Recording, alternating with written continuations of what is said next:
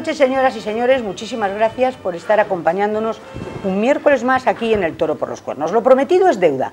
La semana pasada quedamos en que volveríamos a hablar del tema de puentes. La semana pasada vinieron, ustedes recuerdan, un delegado sindical y la representante del Partido Popular en el Ayuntamiento de Ferrol, Martina Anellos. Y hoy les dije, vamos a traer a los transportistas, naturalmente, los transportistas en todas sus facetas, a los transportistas y también a un político ferrolano que ahora les voy a presentar. Pero en primer lugar, vamos a ver, Puentes. Puentes está marcando el inicio de esta campaña. El cierre de Endesa lo está marcando de una manera clarísima, porque más o menos unos u otros van a intentar arrimar el asco a su sardina y a lo mejor, a lo mejor no vamos a ser capaces de saber toda la realidad que encierra el cierre de la térmica de Puentes. Pero para eso estamos hoy, para ver si ponemos un poquito de luz en todo este lío, porque unos le echan la culpa, mm, bueno, que si a las emisiones de CO2, cuando media Europa está con eso y aquí no pasa nada, otros le echan la culpa a... Bueno, ustedes tranquilos, que a ver cómo vamos poquito a poquito. Ramiro Rivera Rodríguez, muy buenas noches. A ver, igualmente, buenas noches. Ramiro, ¿está usted en el Ayuntamiento de Ferrol encerrado con Sí. sus compañeros? Llevamos un mes. Llevan- Un, me- un mes, el lunes por la tarde con Santa Ramos de. que se cerraron allí. Sí. Y usted es empleado del transporte. Exactamente, conductor de un camión ahí dedicado al transporte del carbón. ¿Y lleva cuántos años en esta profesión? En este, en subiendo carbón llevo 26 años, 25 y pico, 26. Y estuve ya cuatro años y pico en la mina. Y fue cuando, cuando se terminaba la mina, cuando decidió el jefe cambiar al transporte del carbón. Pero yo al servicio de Endesa llevo 30 años. Lleva 30 años al servicio de Endesa. Bien, Santiago Silvén Rodríguez.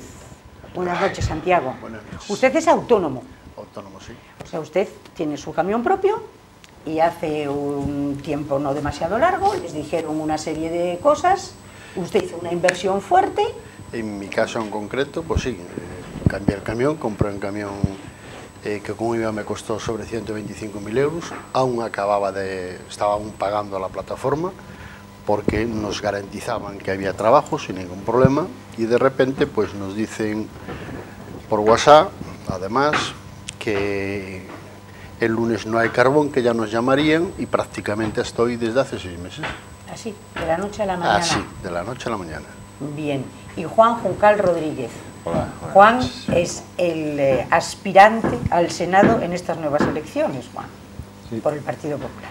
Repetimos, a ver. Llevas mucho tiempo ya entre el Congreso y el Senado. ¿Cuántos Bueno. años al servicio de la política? A ver, de la política en el Congreso Senado 10. Eh, después había tenido la etapa en que estuve de alcalde y que estuve en el Parlamento gallego. Pero bueno, sí, media vida, media vida no, pero bueno, una parte importante, Una parte importante. dedicada a la política. sí. Bien, y estuviste a punto de salir en las anteriores Sí, elecciones, se quedó la cosa ahí. sí. ¿A, a cuántos votos? 12.000 votos. 12.000. ¿Y ahora? Otra. ahora vamos a intentar, a ver si, si la gente pues se vuelve a confiar en el Partido Popular y podemos eh, bueno, pues poner sensatez, entre otras cosas, bueno, pues en, aquellos puntos que, que le afectan a los ciudadanos y particularmente y particularmente a Ferrol, ¿no? porque el Partido Popular no tenía, se quedó en esta corta legislatura fracasada sin representación en las Cortes, ¿no? y creo que Ferrol tiene, bueno, pues con la importancia de diversos sectores, Navantia, defensa, eh, energético, pues eh, tiene mucho que opinar en, Cortes, ¿no? porque es allí donde se van a eh, dilucidar muchos de los temas que nos afectan. importantes. Bien, si Puentes entra en campaña, yo lo siento mucho, porque los voy a coger aquí, aquí te pillo y aquí te mato, porque con esto yo creo que no contaba ninguno de los tres. Pero es que no me queda más remedio que hacerlo. ¿Por qué? Porque increíblemente un ferrolano se ha metido en el centro y eje de la campaña, de esta campaña. Un ferrolano que ustedes yo creo que lo conocen de sobra. Un ferrolano que gana una guerra, un ferrolano que durante 40 años administra la paz y rige los destinos de España, y un ferrolano que a día de hoy creo que es el ferrolano más conocido en todo el mundo, Francisco Franco Bamonde. Han dicho que van a sacar a Francisco Franco del Valle, que lo van a llevar al Pardo, Pero por otro lado, Pero va a hacer hoy, viaje en, helicóptero. hoy ha dicho el, el prior que de eso nada, que espera a que le diga Roma que qué es lo que puede hacer. ¿Qué opináis de ese tema? Así, abuela Plu. A ver, Hai meu compañero que empiece. o venga, Santiago, ¿qué Yo- opinas? Yo creo que en los mundos que estamos hoy en día, andar aún con estas tonterías mm, me parece que es bastante absurdo. Bastantes problemas ten- tenemos todos cotidianos como andar pensando ahora en esas cosas, desde mi punto de vista. Yo por lo menos así lo veo. A mí me llegan mucho mis problemas como para pensar que es algo fundamental para el país sacar a ese hombre de donde está enterrado. Digo ese hombre como cualquiera, ¿eh? ojo, porque eh, es mu- muy curioso cómo se, se ha reescrito la historia de España, pero podíamos ir al 23, al 24, cuando había repúblicas, y podíamos hablar de muchas cosas, pero prefiero no hablar de eso porque a lo mejor hay gente que hasta se siente ofendida, entonces es mejor... Yo son temas que, la verdad, me importa a ver si puedo llegar a mañana. Lo que ha pasado ya hace un montón de años, Pasó. pasó. Y que lo juzgue la historia. Exactamente. Yo opino. ¿Qué me- Además tenemos un ejemplo muy claro, perdone que le digo una cosa. Sí, Ahora que me doy de cuenta. En Portugal hay unos reyes que fueron españoles y que no eran bien vistos y que están enterrados en Portugal. E a nadie se le ocurre ir allí con estas tonterías. E va usted a Portugal e cualquiera persona que, esté un, que sepa un poquitín de, las, de la historia de Portugal, muy orgulloso te dice dónde están enterrados los reyes que eran españoles y que están enterrados. Porque aquí lo cambiamos todo. ¿Qué me dices? Pues yo le digo que eso es una época de, pasada de la historia y por mucho que se mueva la historia no se va, no se va a borrar. Yo empecé mi vida de juvenil, la empecé con, con el señor Francisco Franco Bahamonte. Yo nunca tuve problemas con nadie, y tampoco ahora los tengo, pero veo que ahora estoy más controlado, estoy, hay más inseguridad. Yo quiero ser un ciudadano normal y corriente. Ay, ¿Diría incluso que hay menos libertad hoy que antes? Yo tengo menos libertad. En lo que es en el trabajo, estoy más controlado que antiguamente. Hoy tengo unas horas para trabajar, estipuladas por un señor, un técnico, que las organizó en un despacho, y si yo vengo de hacer un viaje y en puentes se me acaban las horas de conducción, yo no, no puedo bajar con el camión para Ferrol, tengo que quedarme a dormir en puentes. Y para mí eso es una injusticia, que eso, no sé, Bueno, y, y después en el asunto de velocidad y todo eso, yo llevo, desde, desde que vine de la mil estoy dedicado al transporte. Sí. Tengo 60 años y bueno, lo diga y toco madera. Nunca tuve un accidente. Alguna sanción sí, por trabajar a lo mejor unos minutos de más, pero nunca tuve nada. Y quería seguir igual. O sea, que le penan a usted por trabajar. Ay, Dios mío. Juan, ¿qué opinas tú? Bueno, el tema de la memoria histórica pues es una, bueno, una utilización política y por lo tanto yo creo que precisamente también soy de los que no quiere entrar en esos temas porque me parece que es eh, eh, hablar de un tema mm, cuando se quiere ocultar eh, a los temas que realmente importan. Es decir, hacer una revisión de la historia, creo que la historia está ahí, hay que aprender, cada uno que saque sus conclusiones, sus, sus, eh, eh, ideas, pero me parece que bueno, es absurdo. Y, y en el tema este que nos centra también, pues parte del problema es eso también, ¿no? es decir, que se ha utilizado o se pretende utilizar, sobre todo por partidos de la izquierda, tanto el Partido Socialista como Podemos, el tema de la transición energética, indudablemente tenemos el CO2, todos sabemos que no, no es bueno y que hay que, hay que ir a una economía eh, descarbonizada, pero ¿cómo vamos? Ahí es donde ha entrado la política y se ha tratado de vender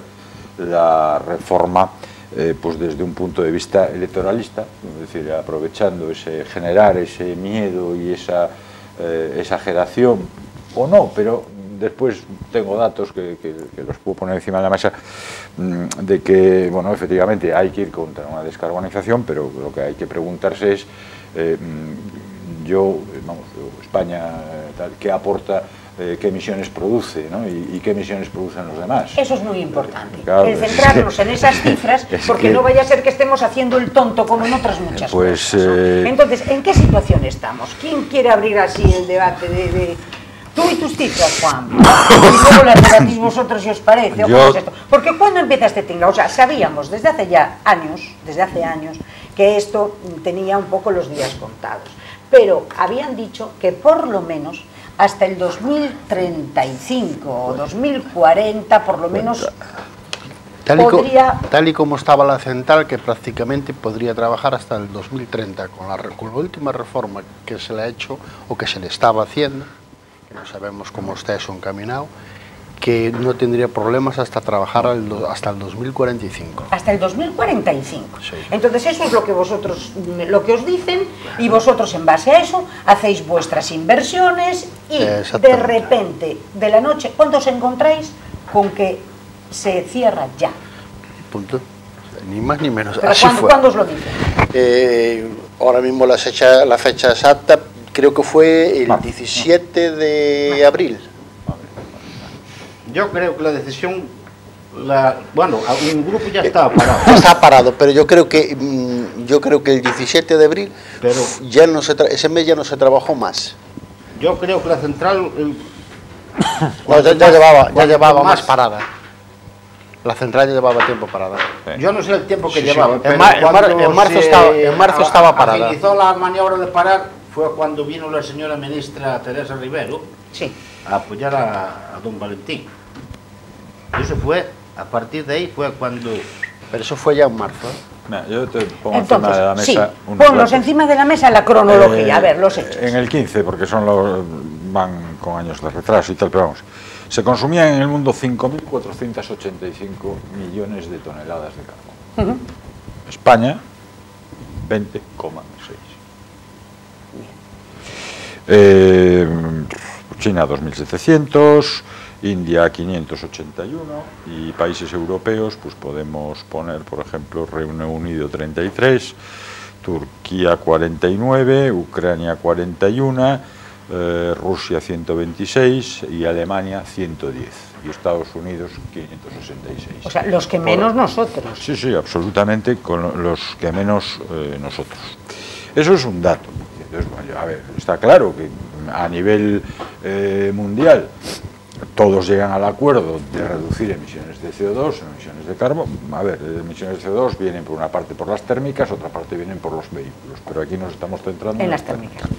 Bueno, pues si todos nos ponemos de acuerdo en, en disminuir las tal, pues vale, lo hacemos. Pero claro, aquí lo que, se- lo que está pasando es China, Estados Unidos no están de acuerdo con la edad, nosotros seguimos consumiendo. Eh, en Alemania, bueno, pues porque es una economía rica y entonces puede, el Estado tiene superávit y puede financiar, eh, digamos, eh, bueno, los costes y la tasa de CO2 y tal, siguen quemando carbón porque han cerrado las nucleares. Y en España el problema es que en febrero del 19 aparece un documento que es el PINIEC, febrero del 19, o sea, de este año, Sí. y que en su página 9 dice, como consecuencia de la aplicación de los instrumentos del mercado de la Unión Europea, entre paréntesis, las tasas de emisiones de CO2, de 35 euros en 2030 a precios constantes de 2016, las centrales de carbón cesan de aportar de energía al sistema como tarde en 2030. Es decir, esto estaba programado desde Para el 2030, pero bueno. Mm, Sí, bueno, después lo, eh, bueno, y en el 30, en la potencia, la evolución de la potencia instalada, en un cuadro, el carbón sitúa en el 30 entre 0 y 1300. Claro, ¿qué pasa? Esos 1300 no esas pontes.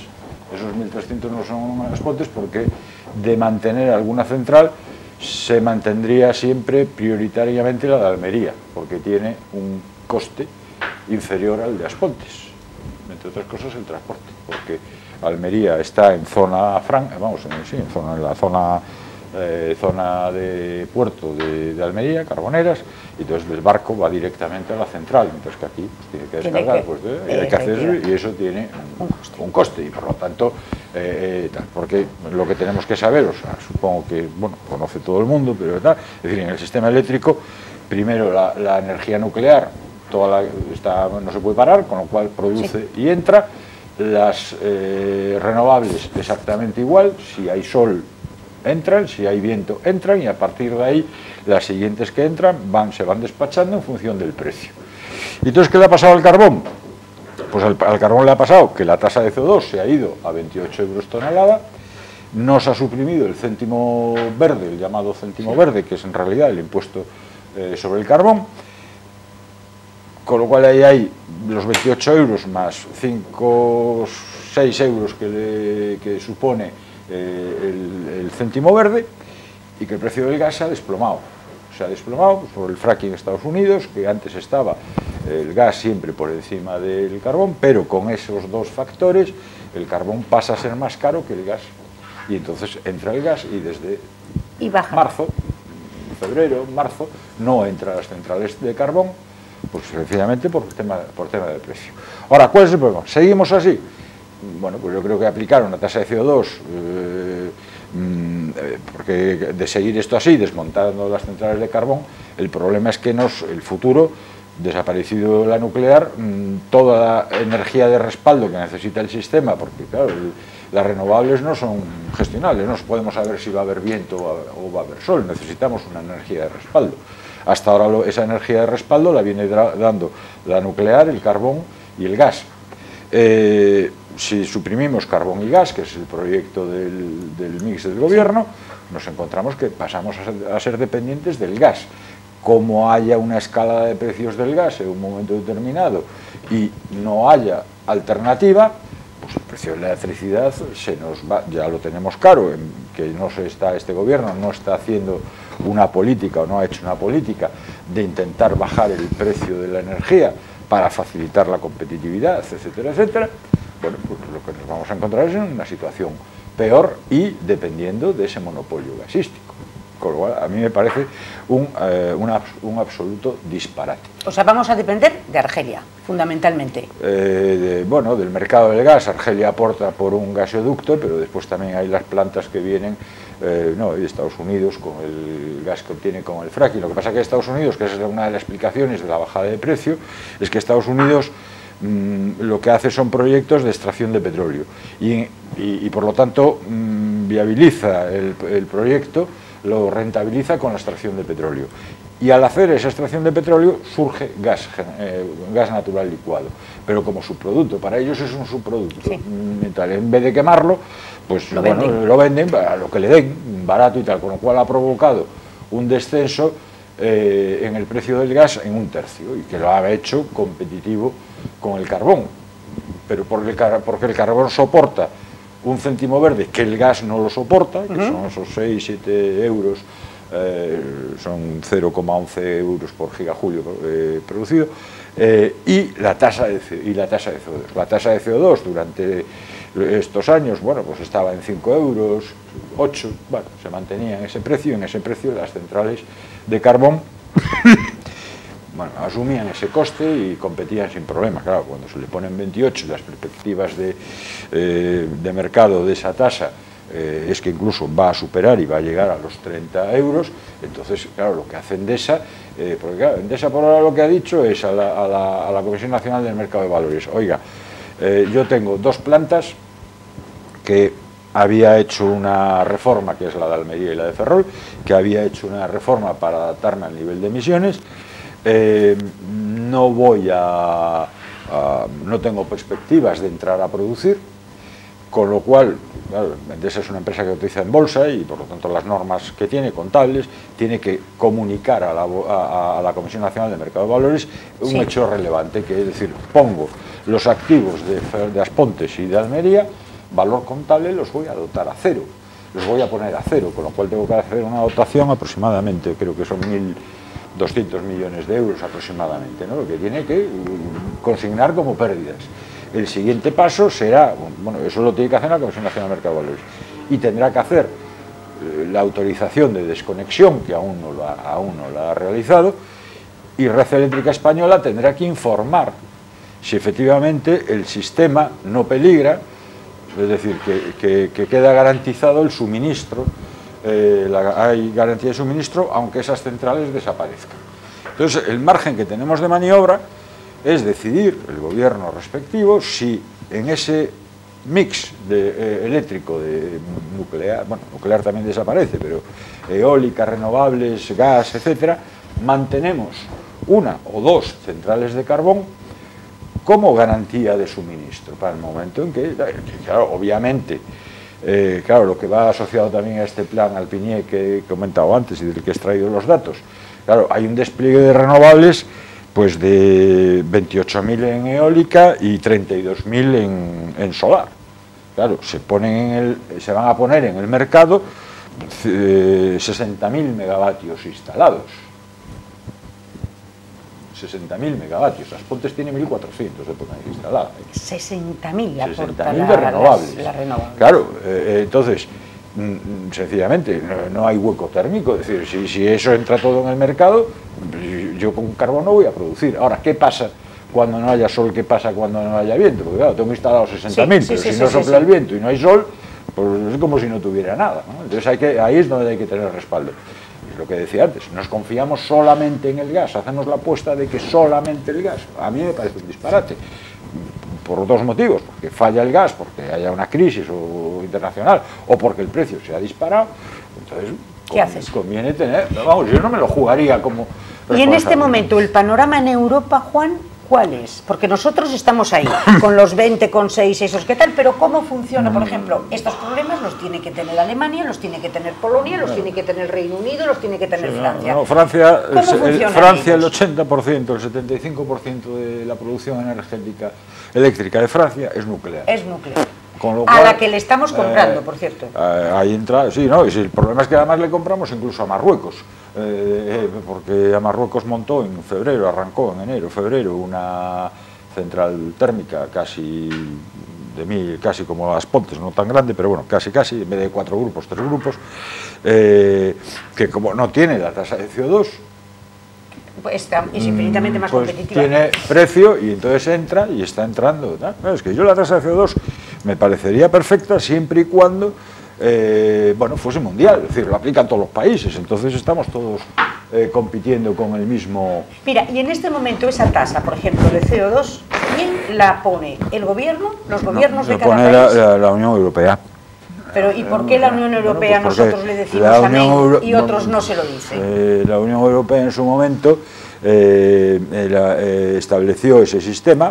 Bueno, y nuevamente todos sabemos que la imposición de un impuesto sobre un material, sobre una, sobre una- vamos, sobre un bien, supone un freno a, su consumo. ¿no? El tabaco, pues grabas el tabaco, pues bueno, pues, disminuye el tabaco. El alcohol igual. Lo que pasa es que, claro, tiene que ser, a mi modo de entender, tenía que ser uniforme.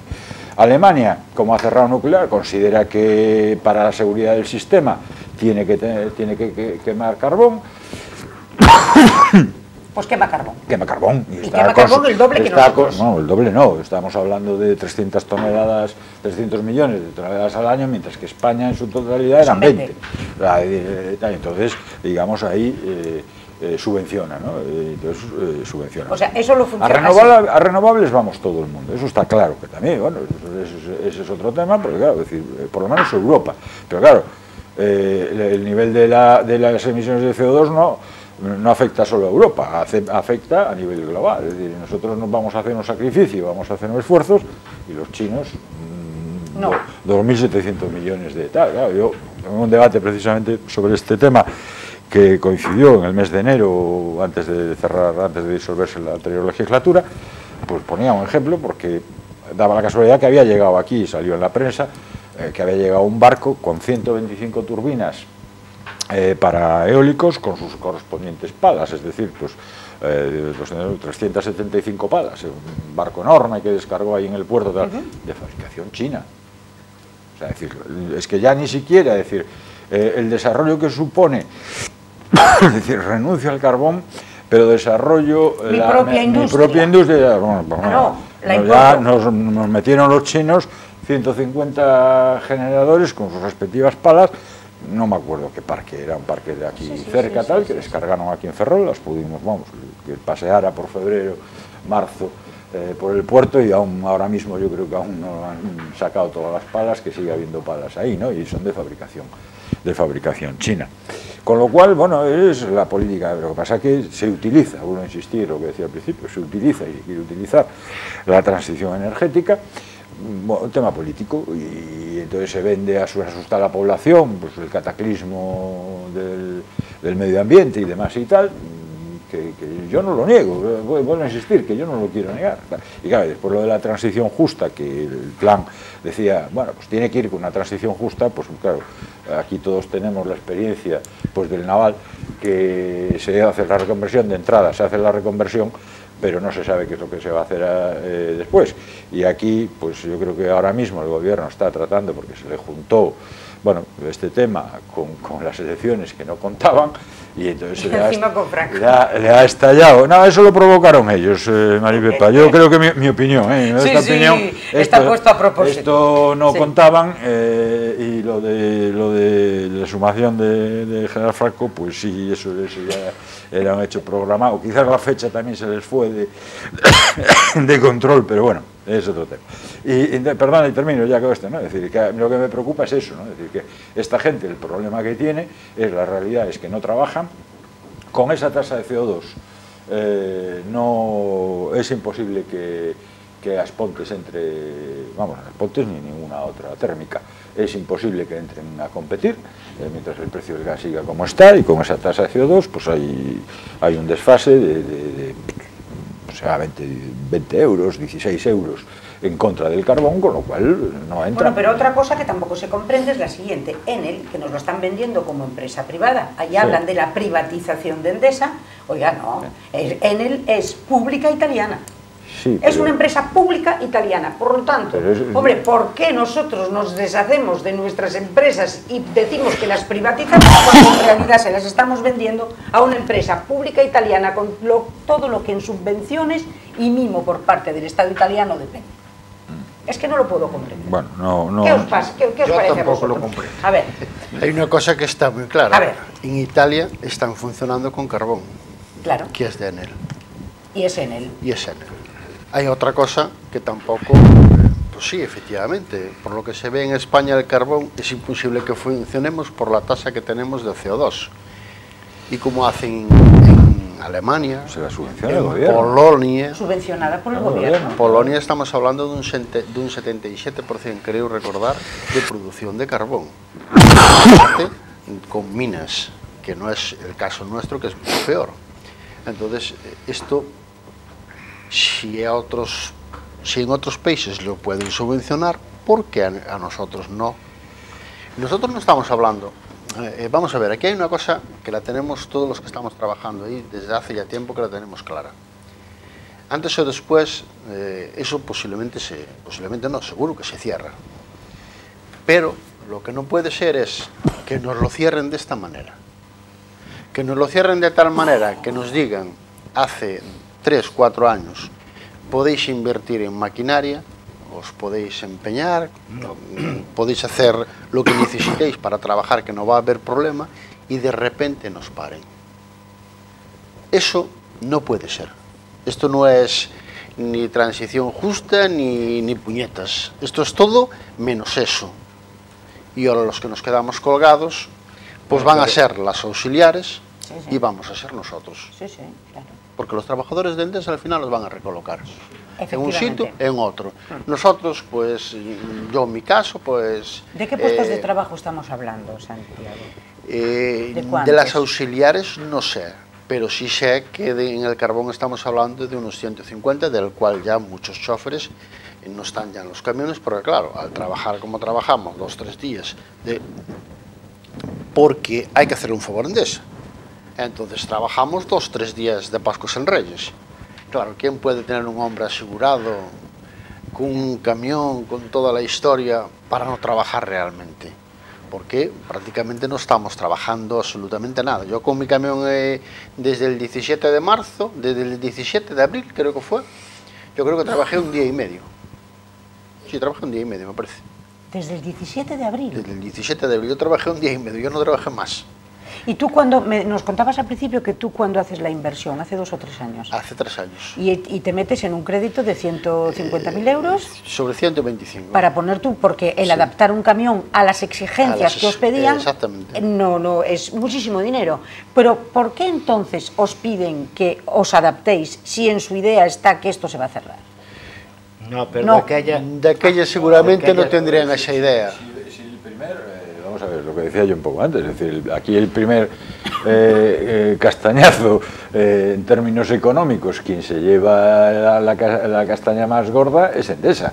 Es decir, estamos, Endesa tiene que provisionar, es decir, poner a cero dos instalaciones como la de Almería y la de, y la de Aspontes, que tienen un valor en libros, en contables, de 1.200 millones y lo que le ha dicho a la Comisión Nacional del Mercado de Valores, que fue lo que, a raíz de lo que se, eh, digamos, eh, alertó toda el cierre Endesa, el cierre Endesa, el cierre tal, es un hecho que se hace dos semanas, Sí. creo que fue, es de decirle a la Comisión, oiga, como yo cotizo en bolsa, le, le anuncio que mm, tengo 1.250 de activos eh, contabilizados en, el balance y los voy a poner a cero, porque mi auditor me dice que no voy a entrar con estas condiciones del de la tasa de, de CO2, el precio del gas, etcétera, etcétera,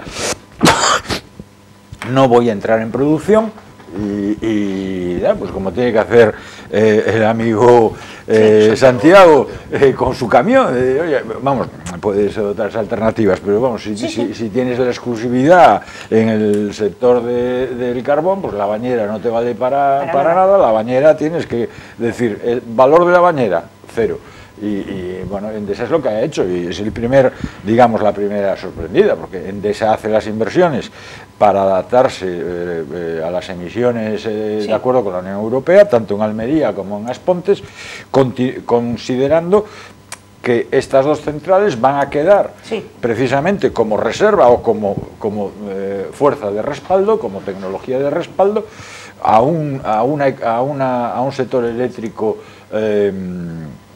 eh, eh, verde, eólico y renovable, eólico y, y solar, pero eh, es decir, no podemos, el país no puede quedar en manos de, no en manos por Sí. utilización, sino a, a que haya solo que haya viento, porque nos Mira, y ese encontrar- diseño, y ese diseño de cuándo entran en el sistema las diferentes y la prioridad de las diferentes energías, ese diseño ¿quién lo hace? El gobierno. Gobierno, PSOE, Esto febrero- es febrero, febrero del 19. Partido Socialista. eh, Plan Claro. Nacional Integrado, Energía y Clima 2021-2030. O sea, él es el que define cuando se termine, le da prioridad a la entrada de unos u otros. Por lo tanto, esto que está ocurriendo, también Endesa se encuentra con una sorpresa por lo que estás diciendo tú, porque esto es un plan del gobierno de, de Bueno, febrero. De febrero, salió publicado en febrero, vino anunciado ya eh, desde el primer momento por Teresa Rivera, la ministra eh, que de, de Transición Ecológica que nombró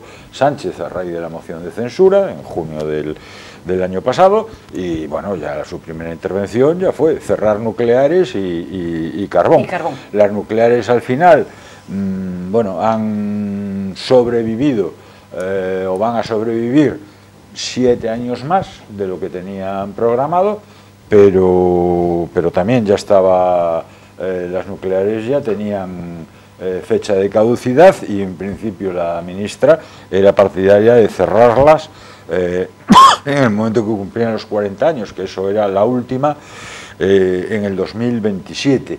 Eh, o sea, irían cerrando todas paulatinamente hasta el 27.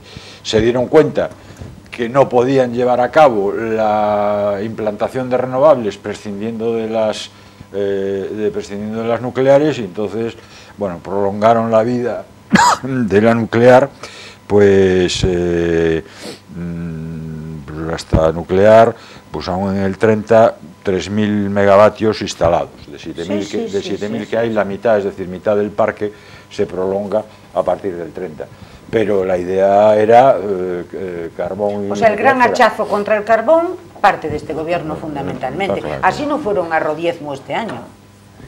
Que antes iban a Rodiezmo, el, el gobierno socialista iba todo. Bueno, no, la, las mina- la minería yo creo que queda una, una o dos por ahí, no, no está, todo está cerrado. Es decir, aparte de eso que tienen unos problemas de, de emisiones Claro que es el problema de Alemania. Alemania no quema, eh, quema lignitos pardos eh, de suelo alemán, no trae el carbón de fuera como se trae el nuestro, que tiene más poder calorífico y menos emisiones.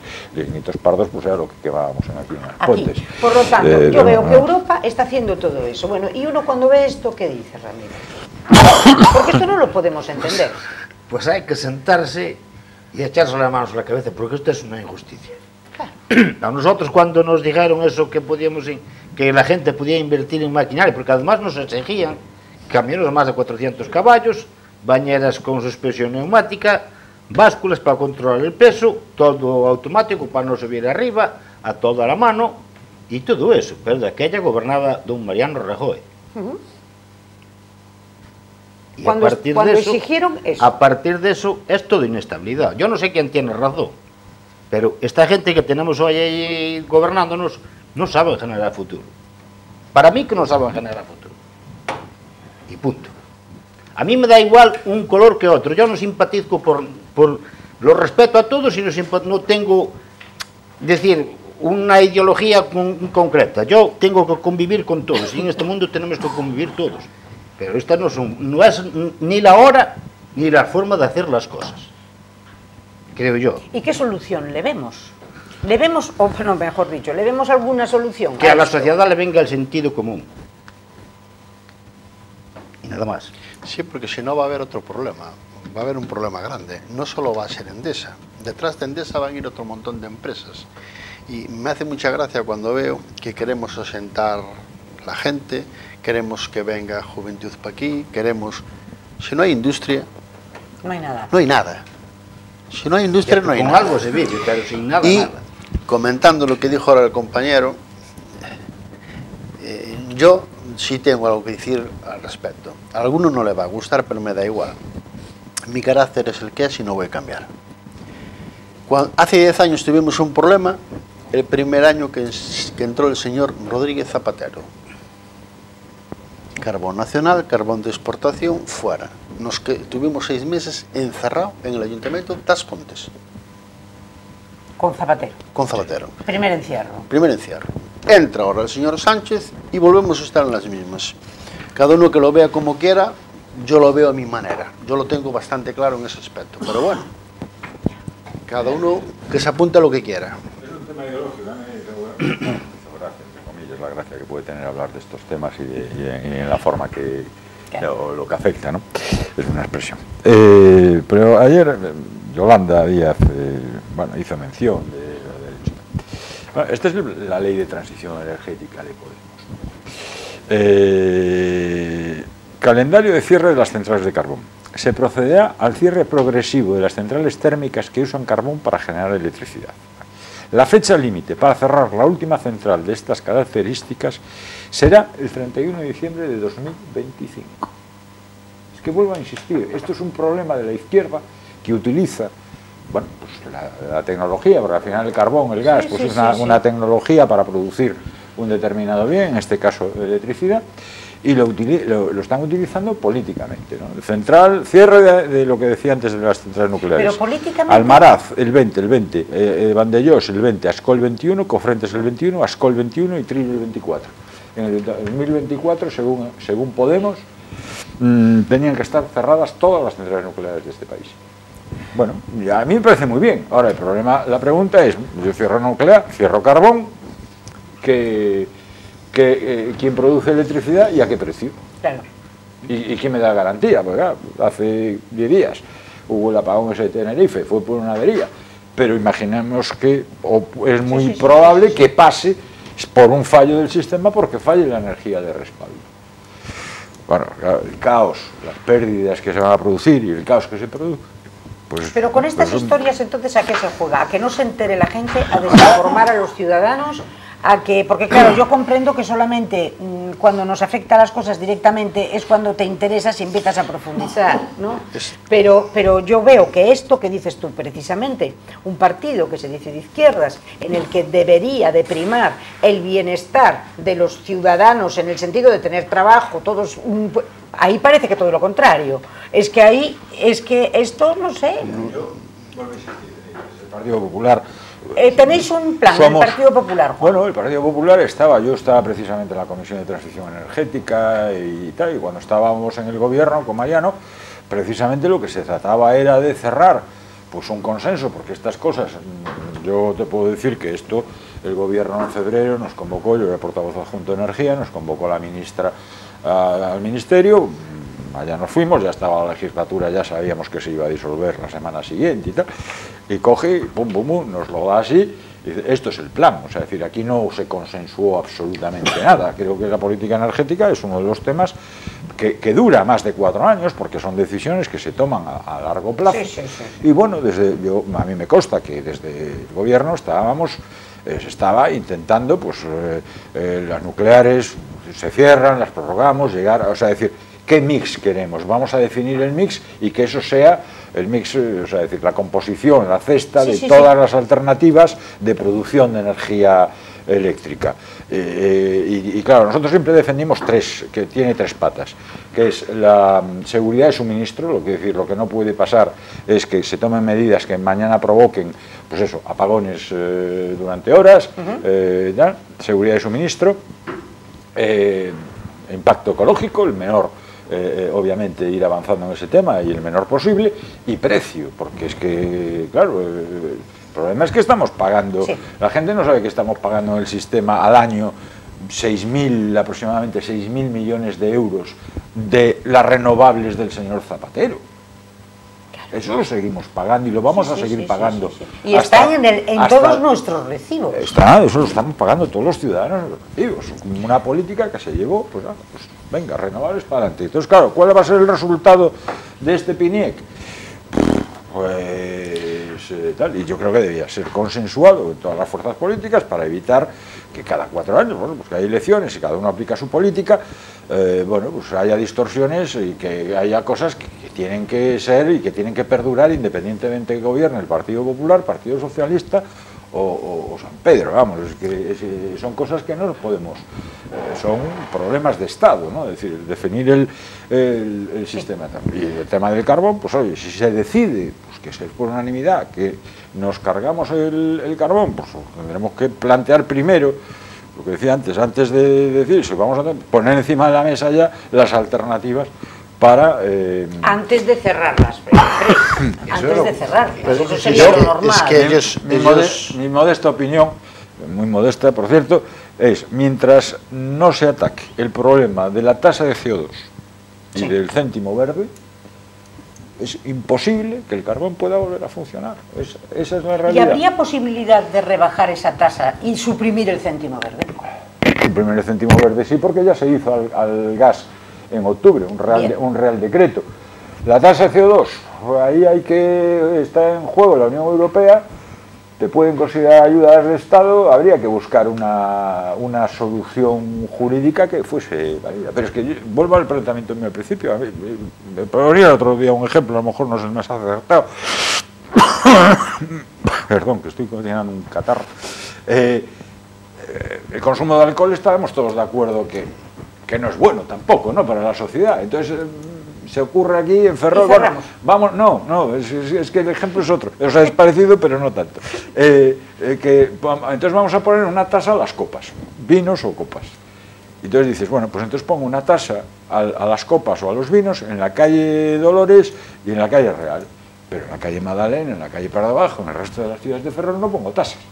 Es que es muy buen ejemplo. ¿Qué es lo que, no, qué es lo que está pasando aquí? La Unión Europea se saca la- una tasa para, controlar que vaya disminuyendo y tal. CO2, vale, perfecto. claro, los americanos no la tienen, los marroquíes no la tienen, los chinos no la tienen, los rusos no la tienen y producen pues, eh, 10 Sí, veces sí, sí, o sí, 20 sí. veces más de lo que estoy produciendo yo. Cuando, porque bueno, al fin y al cabo, por ejemplo, el saneamiento de la ría, bueno, al fin y al cabo, aunque después también acaba en el mar, digamos que tengo la contaminación, la tengo inmediata. Pero es que aquí el tema del CO2, eso es un tema que se- Completamente. que se, se va- se expande por todo el mundo, es un problema global y que efectivamente tenemos que actuar contra él.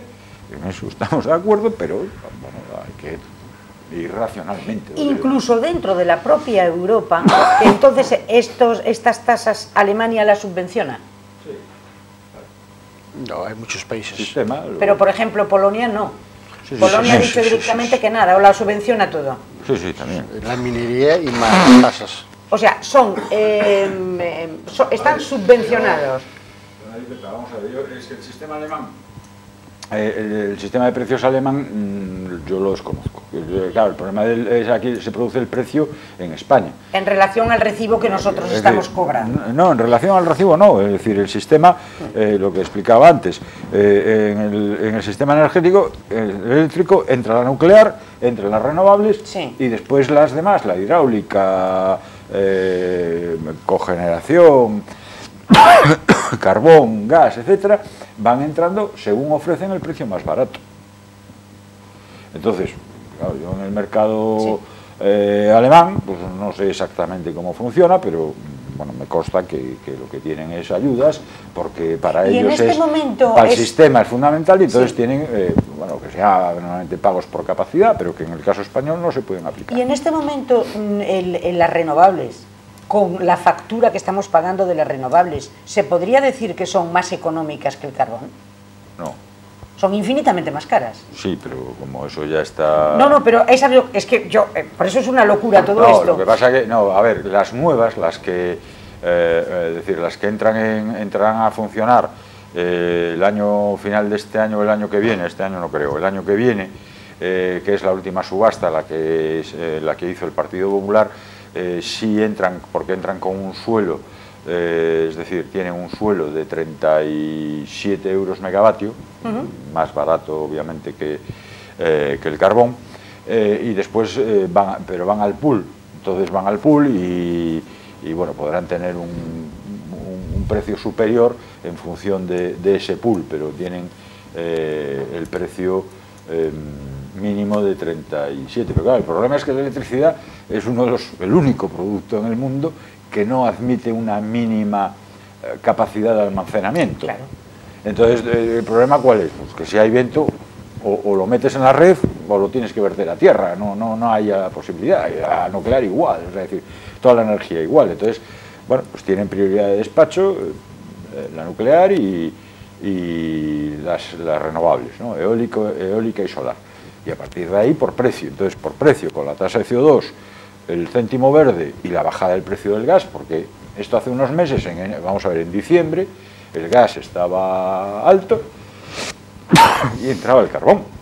Claro, ahora al bajar, claro. Al bajar el gas, Pero eso nos puede llevar a un problema, lo veo yo sí, por ver. lo que le estoy escuchando a usted.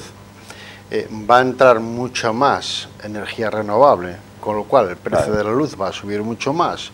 Si el gas también por casualidad se encarece, está claro una cosa, aquí no va a quedar ninguna industria porque no va a poder pagar la luz. Es que Ah, Entonces, ese ¿de qué va a vivir, de ese, qué va a vivir ese la es otro problema que una de las, una de- vamos, yo, yo desde mi planteamiento es una de las, eh, no voy a decir todas, pero sí las dos, mm, Almerías Pontes, que han hecho sus reformas para adecuarse a, a los niveles de emisión, que queden como garantía del sistema, que en un momento determinado eh, entren porque el precio del gas sea elevado y que el precio del carbón sea más barato, pues entre- que se entre a producir con carbón para rebajar esa factura. Porque si no, es que el problema, claro, lo- Pero el problema es que lo has dado en el clavo. Es, es decir, las cada vez. Es que además se paga en España el precio más alto de Europa.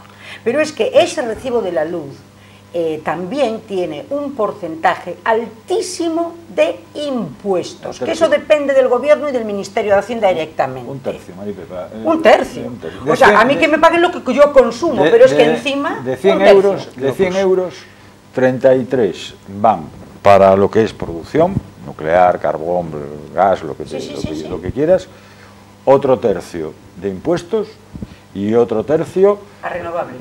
No, mm, lo que es eh, lo que es distribución, Ah. eh, eh, distribu- la red de distribución, y ahí tendríamos sí una parte de ese, en ese tercio iría los peajes, que conocemos como peajes, iría una parte eh, los, mm, las compensaciones que hay que hacer a renovables, la prima de renovables que se mantienen desde los contratos. Eh, Pero claro, pero si ya un tercio, un tercio es Eh. impuestos, un tercio es impuestos. incluido además el, el IVA. ¿eh? El IVA, sí. que en este momento el IVA, yo creo que, hombre, como elemento eh, casi casi vital ¿no? de- de- del sistema, debía de ser IVA reducido, y es el IVA normal y corriente, desde aquí, desde los gobiernos, se podía haber hecho mucho. Eh, Se podía haber hecho mucho, y ese recibo a todo el mundo, oye, pasa el gobierno socialista, pero pasa también en el gobierno popular, Juan, y no hay una solución a ese recibo que estamos pagando todos y no sabemos No, no. cómo lo podemos pagar. sí ¿Y la- las empresas? Sí que la hay. ¿Cuál? Lo vas a volver a pagar más caro. Aún vas a pagar más. ¿Tú crees? Está, está clarísimo. Está claro, sí, sí, Está sí, clarísimo. claro, cada vez Va a haber más renovables, les, les hay que pagar lo que les hay que pagar y tú vas a pagar cada vez. Llegará un momento que no podrás tener luz en tu casa. Pero eso ya no es problema de las grandes empresas. ¿eh? Ese es el problema tuyo. A ver cómo lo arreglas. Pues toda la razón. Pues toda la razón. La- al 17, porque no, al 18 no lo tengo, no lo tengo actualizado. Pero el- la térmica eh, fue Sí. estos, eh, estos precios, 61, la fotovoltaica a 350 y eso que descendió, que llegó a dar. Yo lo voy a poner aquí. la- Yo lo voy a poner aquí, por favor, que me hagan, si es posible, aquí. Para que vean ustedes los precios. Entonces, aquí abajito de todo, aquí abajito, aquí, aquí, aquí, ¿no? va, va la tecnología. Va, El precio de mercado, el precio de mercado, ahí fue la nuclear, la no, no, aquí, aquí, aquí, yo pido, eso Ah, es. ahí, ahí ese es el precio que ha tenido en los últimos años eh, El pequeñito. el, merca- el mercado, exactamente. Aquí. Que hay en el mercado va la nuclear, la hidráulica, la térmica, que está entre, osciló entre el 2008 y el 17 de 70 a 61 euros megavatio. Y aquí al Y final, ahí aquí, la termosolar y la fotovoltaica, eh, que está en 306,298. Fue lo que evolucionó del 2008 a 2017. con lo cual, esto Bueno, es pues, carísimo. Bueno, pero son contratos que hemos mantenido y que tal. Pero bueno, eso no eso fue el pasado, pero hay que, hay que seguir pagando la factura. El problema de esto es que esas, esa, esa, inversión en, esa inversión en renovables en los años 2000, en la primera década del 2000, hay que pagarlas hasta, hasta el año 30, ¿no? O sea que realmente estamos pagándole la factura de la renovables. Pues estamos pagando pues, aproximadamente unos 6.000 euros al año, eh, 6.000 millones, vamos. 6.000 millones Eh, al año. de eh, renovables. Pero Bueno, pero bueno, pues no hay ningún problema con relación a eso y se lo voy a explicar. Mire, eh, nosotros estamos encerrados en el, en el ayuntamiento, como dijo mi compañero, desde hace un mes. Sí. Estamos ahí y no pasa nada, como se suele decir vulgarmente, por no decir otras cosas. Pero bueno, tenemos un sistema que es muy curioso. Eh, basta con que haya una manifestación a favor precisamente de que se baje el precio de la luz para que salgan señores diciendo que hay que ir a tecnologías limpias. Señores que nos, más bien juventud. Es muy curioso todo esto da la impresión de que les están lavando el cerebro, desde mi punto de vista. Y con otro detalle muy curioso. Hay una manif- una manifestación el viernes de en contra del carbón y después se van a hacer ahí abajo el botellón. Eso es lo que es el cambio climático. Es el cambio climático. Es el cambio climático. Sí, sí, sí, sí, sí, sí, sí, sí. Pero a ver quién es el que lo va a pagar. Es que es tremendo, ¿eh? Es que se, se está utilizando... Los de la cola lo vamos a pagar. Completamente. Los de la cola. Sí, sí, sí, sí, sí. Lo que pasa que esto es una utilización machacona desde todos los medios de Desde comunicación. todos los medios de comunicación. Porque es que no se dan, por ejemplo, Nada, ni nada, cifras, nada, ni datos, ni ni nada. nada. Sale esa pobre chiquilla, que es la, la gretilla Sí. esta, la, la- la que la que la sacan, la meten en un barco, la llevan a la ONU, y de repente todos con la Greta Greenberg esta, que es que lo que no hay derecho es que hagan utilización de una menor de edad, ¿eh? De una menor de edad en este momento y todos en la ONU arrodillados delante de lo que diga esta niña, que está manipulada pero- por lo que diga un pero- determinado movimiento. pero vamos a ver. Es que esto es una locura. Pero con una particularidad, ¿eh? que nosotros no estamos diciendo que no se llegue a hacer esto. ¿eh? Nosotros no estamos en contra de que el día de mañana haya una energía Renovables. renovables. Lo que pasa que Que se adapte el que se vaya poco a poco. pero en todo, que se adapte en todos los aspectos, porque si lo que yo voy a tener el día de mañana es una energía renovable que tampoco la puedo pagar, no la necesito, ¿eh? Claro, Yo no la claro. necesito, ¿eh? Claro. Si yo voy a tener el día de mañana una pensión que malamente me va a dar para pagar la luz, ya me dirán ustedes, ¿qué, es, qué, es, qué solución se le está buscando real a los problemas? Ninguna. Ninguna, porque todo esto redunda en, bene- en- en perjuicio tremendo de toda la industria española, porque se está pagando carísima la luz. Y, re- y también a la vez hay unos cuantos que se están aprovechando y se están poniendo las botas. Por ejemplo, una, por supuesto, sí, eso siempre. Eso Pero por siempre. ejemplo, una de las empresas que está en este momento en el punto de mira por toda la utilización que hace de energía eléctrica es Megasa. Bueno, es que esa puede ser la siguiente. Eh, Megasa puede ser la siguiente. Puede ser el siguiente problema, no es por problema de. no es por problema de. Eh, de derechos de emisión, que también los tiene, pero es un problema de factura eléctrica. De los costes eh, energéticos. Los, la electro- los electrointensivos, tanto Megasa como las acerías de Asturias, eh, el sector del acero, eh, se pueden ver en problemas. Yo en enero, de hecho, hice una visita a, a Altos Hornos en Asturias y expresaban su preocupación porque ellos también tienen derechos de, de emisión de, de CO2 y claro, ellos tienen que usar carbón en el proceso de, de fundición, no, no hay que utilizar ese carbón, ¿no? Y tenían problemas, y digo, claro, yo esto lo traslado a Marruecos y en Marruecos no tengo problema ninguno. Eh, tal, entonces, bueno, están teniendo problemas de competencia y tal, y indudablemente el problema de la electricidad... del Marruecos o a Portugal. No, Portugal está dentro de la Unión Europea, con lo cual no va a tener, va a tener unos problemas. Según como negocio. Sin embargo, hay empresas que sí se están marchando por el precio de la mano de obra, Costes de mano de obra. Y de la energía eléctrica también, energía, ¿eh? pero mm, al final el mercado eléctrico ibérico eh, eléctrico hay poca diferencia, va- mm, tienden a, a igualarse. Mira, lo- lo que porque pasa- están interconectados además, entonces eh, los excedentes de Portugal y España están, se, se- se trasvasan, entonces hay una una confluencia, van a- van a- puede haber una pequeña diferencia, pero van a estar siempre Luego entra parejos. el tema de Galicia en concreto, porque por ejemplo Galicia ha negociado, no Galicia, perdón, España ha negociado muy mal todo el tema de la Unión Europea y con la Unión Europea. O sea, nos hemos cargado todo nuestro sector eh, primario. Nos hemos cargado la pesca, nos hemos cargado la eh, leche, nos hemos cargado la ganadería y nos hemos cargado la agricultura. Y ahora nos vamos a cargar también todas estas historias, que son tres. Son, por un lado, el, el- el transporte y por otro lado también el carbón. O sea, todas esas cosas. Pero entonces yo lo que voy, no será cuestión de que nuestros políticos negocien como tienen que negociar. Y en este momento, cuando llegan a Europa, literalmente se bajan los pantalones. Pero ¿qué es lo que está pasando entonces? Porque es que siempre nos toca bailar con la más fea. Entonces, yo comprendo que aquí la Junta de Galicia, pues poco puede hacer. O puede No, hacer algo. No son competencias de la Junta. La Junta puede levantar la voz, avisar y, bueno, en algunas eh, medidas complementarias podría, podría intentar ayudar, pero no son competencias. Esto es un problema. eh, la, yo voy a insistir, y Es además eh, desde el punto de vista eh, económico, es decir, es que no hay, no hay otra. El problema es tasa de CO2, impuesto de, de- de- de, mm, céntimo, céntimo verde.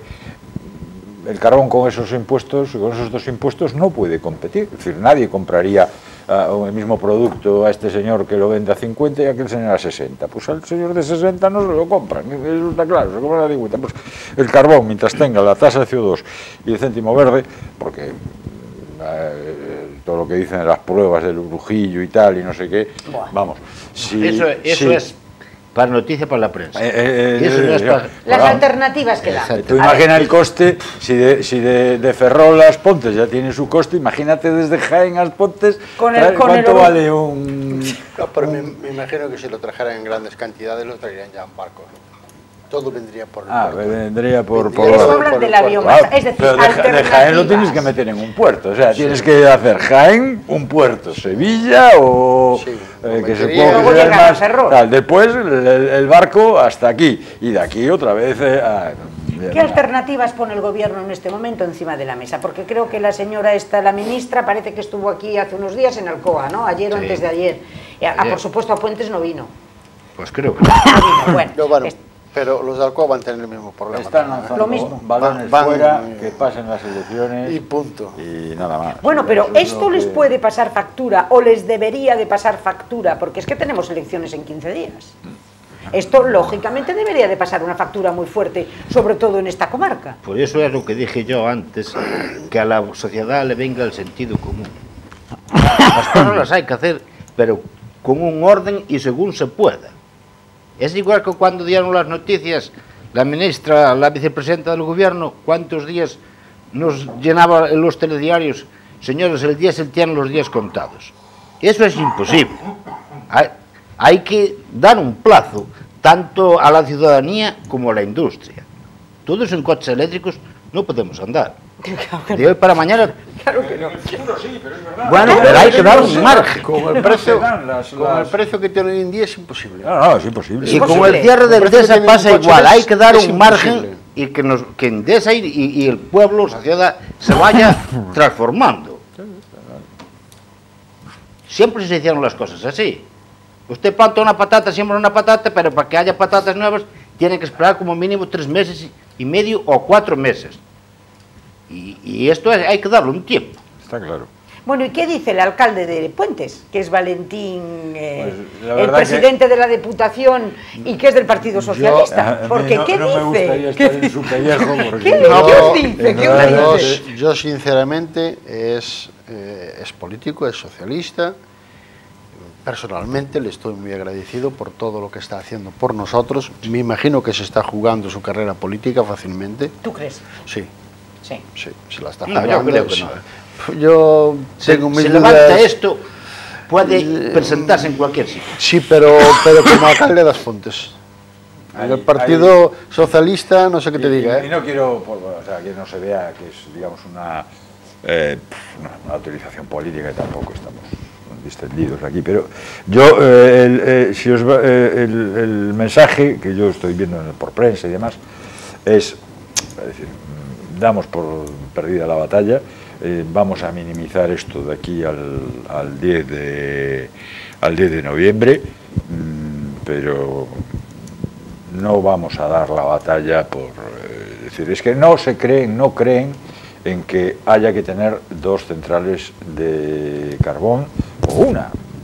Y si es una no toca lo que decía antes no tocas pontes pero no Toca abajo. to- es ma- Lo más eh, son seis son siete euros menos por mega Sí, por, por tonelada claro, claro pues no puedes competir. Corto- esto Eh, está no, abocado al cierre total. Pero eh, no quiere la actual ministra de la Dirección Socialista y los de Podemos tampoco, ya lo he leído, no quieren contar con, eh, con, con Sí. la tecnología de térmica como tecnología de respaldo en un momento determinado. Mientras, mientras esa sea la apuesta y no haya eh, intención de que de contar con una con dos, que los técnicos, que eso es un tema ya también más técnico mm, que político, porque son los técnicos los que, los que tienen que decir pues qué capacidad en megavatios tiene que haber disponibles y teniendo en cuenta el, el- la- el tiempo de reacción, porque una térmica tarda seis horas, creo, aproximadamente, en- en desde que se decide mm, que tiene que va a tener que entrar hasta que entra a producir eh, el- electricidad son seis horas. La hidráulica, eso es abrir la llave y el tiempo que tarda en bajar el agua hasta la primera turbina y ya empieza a generar. Eh, Si hay agua.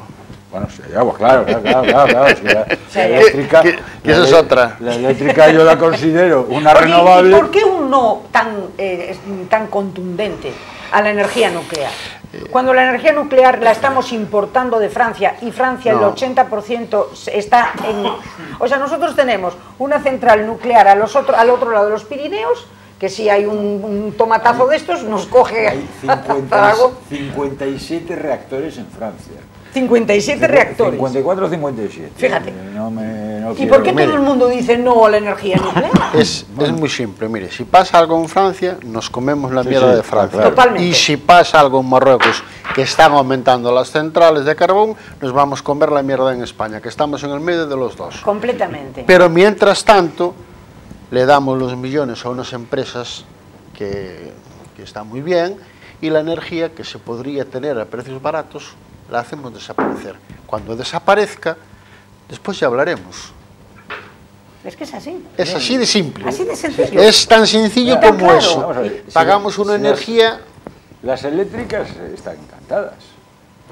Hombre, ¿cómo Hombre. no van a estar encantados? La banca Tú- gana siempre. Tú, Ellas ganan tú vas a coger, quitas de producción eh, nuclear y carbón, que aproximadamente llegó a ser o puede ser eh, el 40% de la producción. Si sacas del mercado el 40%, alguien va a producir ese 40%. ¿Quién lo va a producir? Bueno, pues renovables al margen, los ciclos de gas. Las, todas las compañías tenían el problema de que el gas no entraba en mercado porque era más barato el carbón, sacas el carbón de fuera Y venga. el gas, de hecho, bueno, si bajas, entras ahora mismo en la, en la aplicación de red eléctrica, yo lo, lo hice antes de entrar en el programa, el 30% de la producción que se está consumiendo en este momento actualmente en España es con ciclo combinado con gas, Fíjate. el 30%. Ahora, yo mi pregunta sería... La eólica era el 8%. Claro, es que- Esto, pero esto, vamos a ver, ¿se puede arreglar o no se quiere arreglar? Porque a mí hay una cosa que siempre me llama muchísimo la atención. Y son todas estas que hablábamos, hablabas tú antes, Juan, hablando de que eran eh, políticas de Estado y todo esto. Claro, ya lo que huele muy mal, muy mal, muy mal, es que normalmente en los consejos de administración de las grandes eléctricas siempre se van todos nuestros presidentes. Hombre, están todos. Y, y- si no, nuestros ministros de energía. Allí está esta señora que ya no me acuerdo cómo se llama, que tenía un pelo muy mono siempre. ¿Cómo se llama? Elena Salgado. está ahí, también en Endesa o no sé dónde. Los otros en, en Iberdrola, el otro, todos están en los grandes consejos de administración. Aznar, Felipe González, eh, bueno, Mariano no. Pero te quiero decir que, que- que no quieren arreglarlo o no pueden arreglarlo, o juegan otros intereses al margen del pobre eh, Paganini, que somos todos nosotros que tenemos que pagar los, ese los políticos que están en consejos están ahora haciendo consejo, no están haciendo política. Eh, Esto es una decisión del gobierno. Yo vuelvo a decir eh, tal. Yo en la, en la pasada legislatura, no en esta fallida, sino en la anterior, la de Mariano Rajoy, el ministro de Industria, lo que estaba era intentando llegar, hablando con socialistas, con Podemos era imposible, pero bueno, sí con los socialistas. A ver, ¿qué hacemos con las nucleares? Que hay que tomar una decisión porque el tiempo, el tiempo se agota, porque teníamos los cierres, los, los cierres de las nucleares ahí ya, están ahí, el 2024. Eh, vamos, para una central nuclear cuatro años no es nada, No es ¿no? nada. es decir, para la organización del trabajo y tal. Y se estaba intentando con eso, ¿no? Vino una moción de censura, llegó de nuestros señores y, y- y- y este es mi plan. ¡Pum! Lo pusieron encima de la mesa Ya está. y, y ya está. ¿no? Y entonces, eh, el problema es, que ese. ¿no? Es muy fácil hacer un plan así. Este es un plan, lo pagáis todos. Ah, claro. Ah.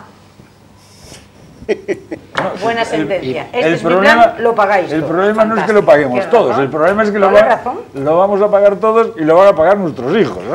No, no, no, no, no, no. En eso creo, en eso creo que estás engañado y, y le voy a decir el porqué.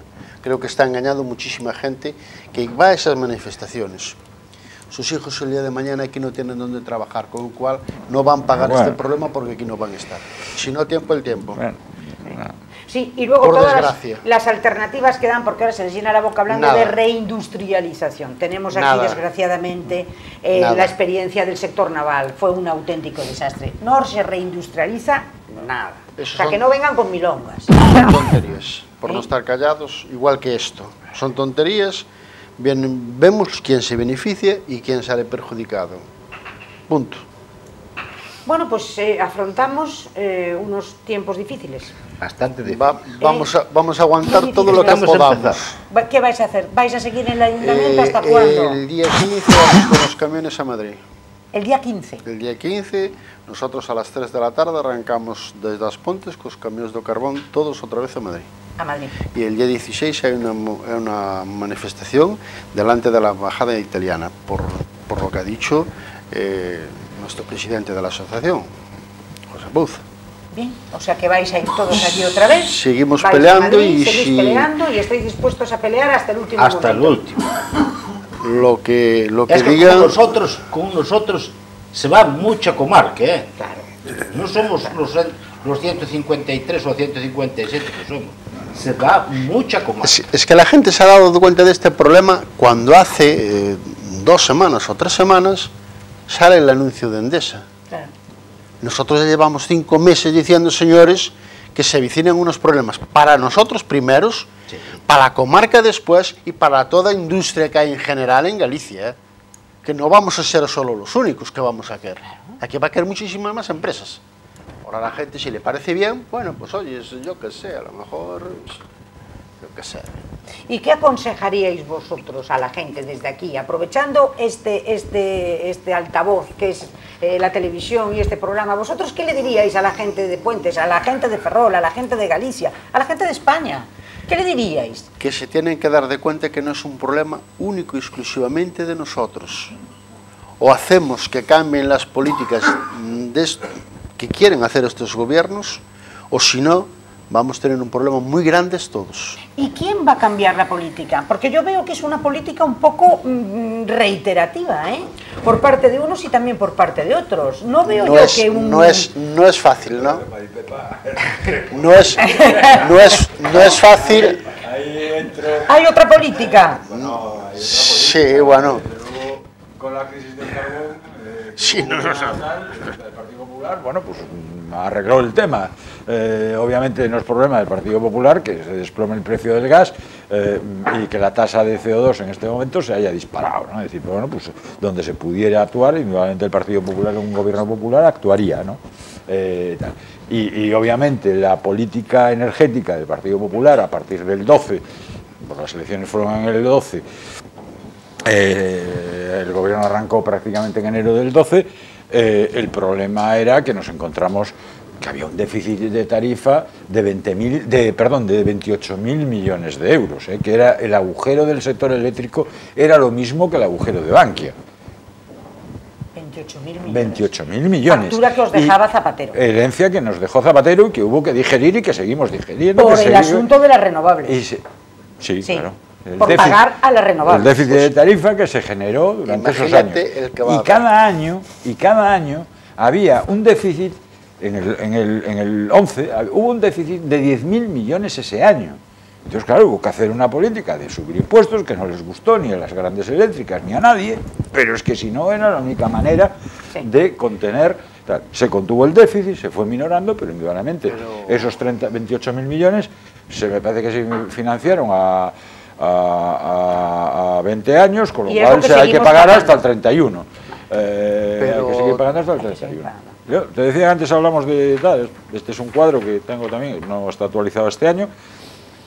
Del total de- de- del sistema, bueno, la mitad son costes ajenos al suministro Claro. que es renovables, impuestos, tal, tal, mientras que distribución y producción es la mitad. Claro, claro. Pero, Pero- bueno, no hay ningún problema porque le va a subir a los pensionistas, me parece que hablan de 6 euros al mes y van a pagar 20 más de luz. Pero bueno, eso son las políticas que llevamos a cabo. Y el salario base también en 1.200 euros. Sí, que eso tampoco tiene problema porque a fin de cuentas después a los autónomos, a los autónomos nos suban, nos suben otros 50 euros más a los autónomos. En Ya nos pasó. que hay también un gobierno de izquierdas, el otro día con las elecciones, que estaban en 600 euros el sueldo. Mínimo. Es decir, el sueldo mínimo. El sueldo no lo puedes eh, subir ni, bajar por decreto. Es decir, eh, eso está sujeto eh, a oferta y demanda. Si tienes mucho, mucho parado, pues tienes el problema que tienes mucha gente, necesita empleo, que está dispuesta, como necesita empleo, está dispuesta a trabajar, pues por un salario más bajo. ¿Cuál es la manera de subir salarios? Generando empleo, de manera que haya a un empresario le cueste trabajo contratar. Y entonces, si le cuesta trabajo contratar, eh, si este señor necesita un conductor para tal, y por mil no le va, pues tendrá que ofrecer los 1.200, ¿no? O- Yo hoy, yo hoy precisamente se dio un caso de una, de una persona de Poligal que estaba ahí en Poligal, ahora está trabajando en otra empresa. No quiero decir su nombre porque no vaya a ser que tomen algo contra él. Exactamente. Y sí, hablamos de crear empleo. En Poligal estaba cobrando más del doble de lo que está cobrando ahora. Y si el empleo bueno es el que estamos deshaciendo, jolines, Efectivamente. pues que es lo que no lo vemos. El empleo bueno es lo que está deshaciendo estos puñeteros políticos hablando claro y en plata. Cada uno que lo piense como quiera, pero yo lo veo así. Si cierra la industria se, des- se deshace el empleo de calidad. Y después quedará, pues eso, camarero, mensajería, que están todos, bueno, vemos cómo andan las furgonetas y toda esta gente, y Pero cosas así. ahora para mensajería ya no volvemos. Ya no veremos Ya que... nos cuesta no, no, no, no, no, aparte que no somos capaces ya de andar esa velocidad, ¿eh? que, que nos vamos a pegar un castañazo, pero seguro. No, las cosas, no sé, las cosas necesitaban Hay que apoyar a la industria. mirarlas desde Hay abajo. que apoyar a la no industria. Se puede y no se la quiere apoyar a la industria, no lo entiendo. Porque aquí se desmanteló toda la, ah, hablo de Galicia, se desmanteló toda la industria porque se quiso pri- primar. eh, Galicia es el sitio ideal para hacer una economía de servicios. ¡Hala! Y toda la industria a Bueno, fastidiarse. y economía- así vamos como vamos. Una economía de servicios lo Vamos tenemos muy claros, la tenemos en Cuba. Claro. Es una economía de servicios. En Cuba. Sí, señor, ahí tenemos una economía de servicios. Y si queremos, a lo mejor hasta nos podemos arrimar allá al Maduro, que por ahí andará también la cosa. ¿Alguien, an- Maduro. ¿alguien añorará Cuba y Venezuela? Ay, Dios mío. Bueno, yo les agradezco muchísimo que hayáis estado compartiendo esta noche conmigo. ¿eh? Muchísimas gracias a Ramiro, muchas gracias. No, muchísimas ay, gracias a Santiago, encantado. muchísimas Encantado. gracias Juan Juncal. Bueno, yo, bueno, que Dios nos ampare, que nos eche una mano, que nos eche una mano y, y la Virgen y la Virgen del Pilar, porque todo- yo esto todo- lo veo muy complicado. Lo explica, falta. lo explica ¿Eh? todo Todo con un gráfico perfecto Muy bien. lo que es. ¿eh? Pues muchísimas gracias y ya lo Pues saben. Aquí está el tema encima de la mesa. Van a ser días muy difíciles, meses muy difíciles. La gente sigue, eh, los transportistas en los Es ayuntamientos increíble. encerrados. El próximo, la próxima semana eh, marcha sobre Madrid y desde luego, por Dios.